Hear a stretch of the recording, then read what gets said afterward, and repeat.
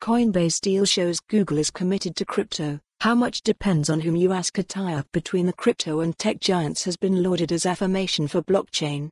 In reality, Google is looking for new customers. By Lawrence Lewitinn Layer 2 Nov 3, 2022 at 8.53 p.m. UKB Lawrence Lewitinn Layer 2 Nov 3, 2022 at 8.53 p.m. Going by recent headlines and what the company says, one would assume Google is diving into crypto.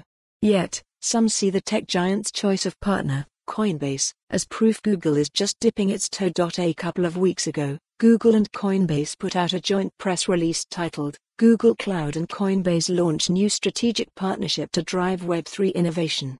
A few days later, Google Cloud introduced its Ethereum blockchain node engine. This comes months after the search engine giant's cloud computing section started a digital assets team.